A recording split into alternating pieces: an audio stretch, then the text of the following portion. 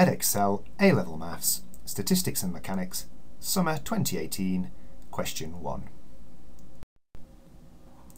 Helen believes that the random variable c, representing cloud cover from the large dataset, can be modelled by a discrete uniform distribution. We want to write down the probability distribution for c. Well, on the large dataset, we can see that cloud cover is measured from 0 to 8, so that's 9 different amounts of cloud cover. It's a discrete uniform distribution, so that means the probability of each of those is going to be the same, hence everything is going to have a probability of 1 ninth. You can see on the table we've got our small c representing each of the different amounts of cloud cover from 0 to 8 and our bottom row is the probability of large c equaling small c each of those is a ninth. And if we just check, because there's nine of them, 9 times a ninth adds up to 1.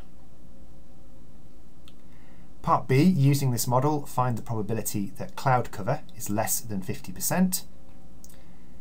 As our cloud cover model goes up to 8, 50% must be 4, so we want the probability that it's less than 4.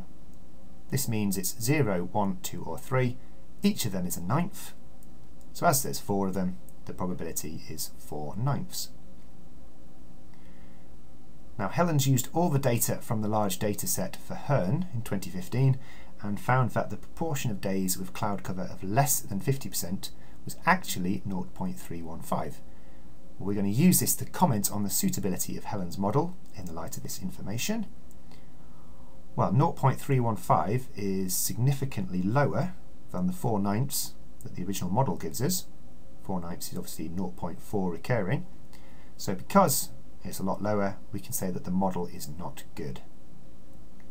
Now for an appropriate refinement, we need to say something along the lines of the cloud cover will vary each month, or cloud cover will vary from place to place. So something suggesting why this can't be modelled by a discrete uniform distribution. And because we're saying it's varying, we're also going to say we'll use a non-uniform distribution. As long as you've got those two facts in there, you'll get the mark.